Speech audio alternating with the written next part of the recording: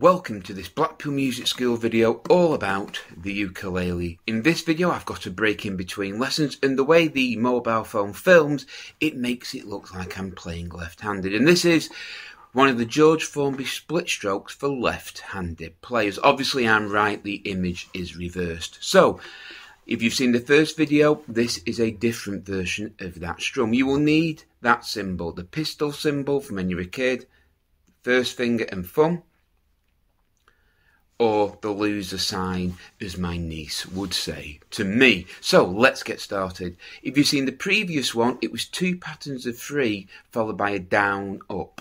Okay, so two patterns of three followed by a down up.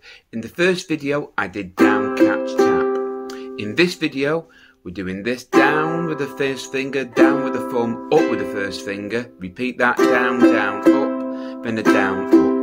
So it's down with the first finger, down with the thumb, up with the first finger. Down with the first finger, down with the thumb, up with the first finger, then a down, up. Now you may notice that I flick my first finger through so the thumb remains above the top of the fretboard so it can strum down. If you strum down, you've got to come back up for the thumb to come back down. So it's sort of like flick down, up, flick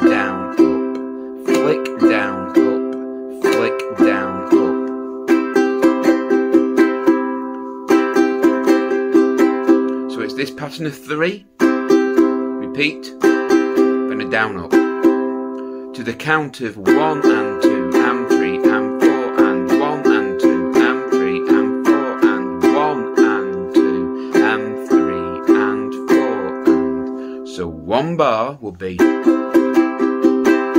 one bar.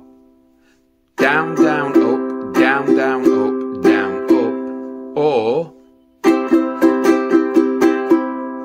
bar, one and two and three and four and. So that is another version of the George Formby split stroke. I should say this is my version of the George Formby split stroke. So now you've got two versions. You've got down catch tap, down catch tap,